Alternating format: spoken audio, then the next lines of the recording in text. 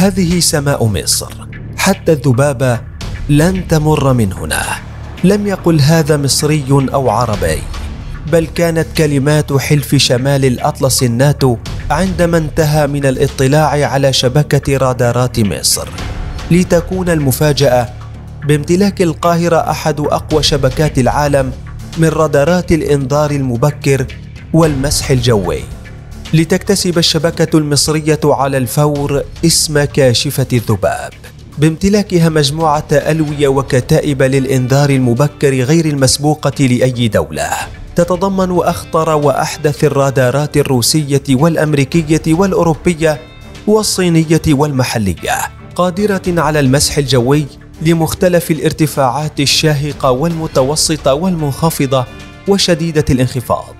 كما تعمل على مختلف النطاقات التي يمكن لبعضها التقاط الأهداف الجوية ذات البصمة الرادارية المنخفضة مثل الصواريخ البالستيه والجوالات والطائرات الشبحية. إضافة لكتائب المراقبة بالنظر المتضمنة أنظمة كهروبصرية وحرارية. ما يمكن المصريين من رصد الطائرات المعادية على الارتفاعات المنخفضة جدا ليلا ونهارا وخاصة الشبحية. وترتبط الرادارات المصرية شديدة التعقيد بشبكة القيادة والسيطرة والاتصالات سي 4 إي سي 5 إي. المسؤولة عن ربط ودمج كافة منظومات النيران الصاروخية والمدفعية ووسائل وأجهزة الإنذار المبكر والاستطلاع المختلفة للربط بين وحدات الدفاع الجوي وباقي أسلحة وأفرع القوات المسلحة من قوات برية وبحرية. ما يمكن مصر من الربط ضمن شبكة غاية بالتعقيد بين أسطول طائرات القتال الجوي من مقاتلات اعتراضية وهجومية وسيطرة جوية وطائرات الإنذار المبكر المحمولة جوا والاستخبارات والمسح الجوي والاستطلاع الإلكتروني والحرب الإلكترونية. حتى أن شبكة المسح الجوي المعقدة ترتبط بالسفن السطح من فرقاطات وقرويطات مزودة أيضا بأنظمة الإنذار المبكر والدفاع الجوي فكيف استطاعت مصر بناء هذه الشبكة المعقدة؟ وما هي عناصرها الأبرز؟ من روسيا صائد الشبح. منذ امتلكت إسرائيل طائرات الشبح العصية على الرادارات لم يهدأ بال مصر حتى توصلت إلى صفقة ضخمة مع روسيا ضمنت لها امتلاك رادار الإنذار المبكر والمسح الجوي الروسي بعيد المدى Resonance N أو المضاد للأهداف الشبحية والصواريخ الجوالة والبالستيه إضافة إلى الأهداف الجوية ذات السرعات فوق الصوتية بحيث يستطيع تتبع 500 هدف جوي في وقت واحد.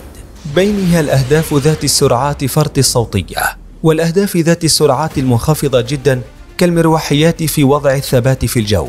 ويتمكن الرادار صائد الشبح من العمل في كل الظروف الجوية. بمدى رصد وتغطية ضد الصواريخ البالستيه يصل إلى 1100 كيلومتر. مع القدرة على توقع أماكن سقوط هذه الصواريخ ايا كان التشويش إلكتروني. بينما يصل أقصى ارتفاع لرصد الأهداف الجوية إلى 100 كيلومتر. إلى جانب توجيه الدفاع الجوي في نطاق يصل إلى 300 كيلومتر. ومن روسيا أيضا يبرز رادار الإنذار المبكر Protivnik GE وهو رادار ثلاثي الأبعاد يوفر قدرة المسح الجوي بعيد المدى مع رصد وتتبع الطائرات الاستراتيجية والمقاتلة والصواريخ البالستية وحتى الأهداف ذات السرعات المنخفضة ما دون صوتية لجانب تزويد الطيران الصديق بالمعلومات والبيانات الملاحية المختلفة ويعمل على نطاق التردد فوق العالي بمدى مسح جوي يصل إلى 400 كيلومتر وارتفاع 200 كيلومتر. أما رادار بي 14 الروسي ثنائي الأبعاد فهو مخصص للإنذار المبكر ويصل مداه إلى 600 كيلومتر بارتفاع 50 كيلومتر. ويمتلك أنظمة حماية مضادة للتشويش والإعاقة السلبية ما يمكنه من تعقب مصادر التشويش بالتزامن مع معالجة أوتوماتيكية لبيانات 120 هدف خلال عشر ثواني. ولم تكتفي مصر بهذا القدر من الرادارات الروسية بل امتلكت أيضا رادار P 18 الذي تمكن من كشف طائرة الشبح الأمريكية التي أسقطتها الدفاعات الجوية الصربية في كوسوفو سابقا. ويتميز رادار P 18 الكاشف للأهداف الشبحية بمعالج رقمي لإشارات الرادار وآخر رقمي لتحديد الأهداف المتحركة. إضافة لأنظمة كمبيوترية لمعالجة البيانات واختبار الأداء. مع وحدات معالجة ترتبط بأنظمة التحكم النيراني الأوتوماتيكية لجانب نظام تصدي للتشويش والإعاقة الإلكترونية المعاديه ويصل مدى الكشف لرادار بي 18 إلى 270 كيلومتر بارتفاع 35 كيلومتر. مع إمكانية كشف أي هدف على ارتفاع 500 متر من مسافة 60 كيلومتر. ورصد الأهداف الجوية المسؤولة عن عمليات الإعاقة والتشويش الإلكتروني. الكشف الصامت. في ميدان رادارات الكشف السلبي التي تعتمد على رصد ذبذبات الأهداف. وليس إرسال موجات كاشف لتصدم بأجسام الأهداف كالرادارات التقليدية. ما يضمن عدم انكشاف موقع الرادار لأي جهة معادية. تمتلك مصر رادار بوست ثلاثة آم الروسي الصنع الذي يعد أقوى أنواع الرادارات السلبية. لقدرته على كشف جميع أنواع الطائرات على مدى 800 كيلومتر. بما فيها الطائرات الشبحية والمقاتلات والقاذفات وطائرات الاستطلاع والإنذار وطائرات النقل. إذ يستطيع هذا الرادار رصد كل أنواع ترددات الطائرات وتحليلها وتحديد اتجاهها وسرعتها مع القدرة على التغيير السريع بين ترددات الموجات الرادارية. ما يجعل مهمة أجهزة الإنذار بالطائرات كشف مكان الرادار مستحيلة؟ وتسمى هذه الطريقة بالكشف الصامت. اعرف عدوك من صديقك.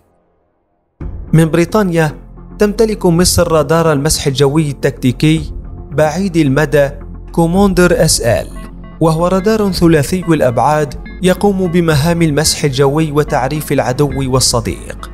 ويمتلك قدرة هائلة لمقاومة كافة وسائل التشويش الإلكتروني.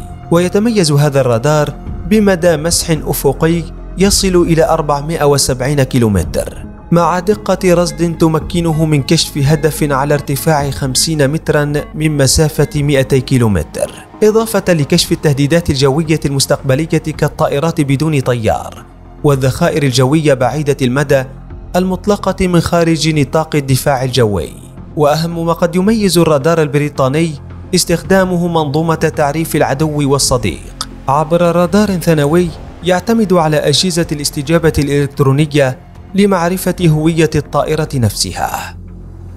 رادارات العمسام من الولايات المتحدة استطاعت مصر رفض منظومة المسح الجوي المعقدة برادار امتلكته القاهرة مباشرة بعد الولايات المتحدة. إذ إن الرادار الأمريكي AN-SPS 48 يكشف الأهداف بمحيط 360 درجة. ما يمكنه من رصد أي جسم سواء على ارتفاع شديد الارتفاع أو الانخفاض. كما لديه القدرة على كشف الطائرات الأسرع من الصوت وكذلك المروحيات وحتى الصواريخ البالستية. إضافة إلى صواريخ الكروز ذات المقطع الراداري المنخفض بمدى 400 كيلومتر. ويوفر هذا الرادار معلومات حول المسافة بين الرادار والهدف وارتفاع التحليق. ويستطيع الربط وتبادل المعلومات مع منصات الأسلحة الأخرى مثل الهوك المطور والباتريوت والرام. كما تمتلك مصر من الصناعات الأمريكية رادار TPS 59 وهو رادار ثلاثي الأبعاد يبلغ مداه 750 كيلومتر ويتخصص في كشف الصواريخ البالستية والتكتيكية إذ يعمل مع بطاريات صواريخ باتريوت وصواريخ هوك الأمريكية وبمقدوره أيضا رصد الطائرات المعادية من مسافة 550 كيلومتر وعلى ارتفاع 30 كيلومتر بينما يستطيع رصد الصواريخ البالستية على ارتفاع 300 كيلومتر. أياد مصرية رغم أن مصر حصلت على رادار TPS 63 من الولايات المتحدة إلا أن القاهرة بدأت بتجميعه محليا ثم تصنيعه بنسبة بدأت بأربعين بالمئة كمرحلة أولى ثم خمسة وسبعين بالمئة في المرحلة الثانية وأخيرا 95% في المرحلة الثالثة. ما يجعله رادارا مصريا مطورا عن الرادار الأمريكي الأصلي؟ ويتميز بأنه ثنائي الأبعاد للمسح الجوي بمدى 280 كيلومتر وأقصى ارتفاع 12 كيلومتر. ويستطيع كشف الأهداف الجوية ذات المقطع الراداري المنخفض من مسافة 150 كيلومتر. بينما يعد الرادار المصري الجديد ESR 32A صناعة مصرية 100% ويستطيع كشف الهدف من مسافة 250 كيلومتر وارتفاع 12 كيلومتر.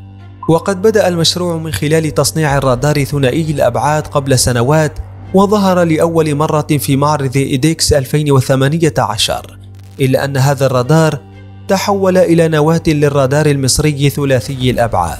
الذي تقول عنه القاهرة إنه سيحدث ضجة عالمية ويشكل إضافة لمنظومة المسح الجوي المصرية التي تمتلك أيضا رادار منظومة S 300 VM ومنظومات ال Buk M وال Tor M والبيتشورا الروسية والهوك الأمريكية وال T SLM الألمانية و Skyguard Amoun المصرية الإيطالية وأنت هل تعرف نظام رادارات للإنذار المبكر والمسح الجوي يستحق لقب كاشف الذباب غير مصر؟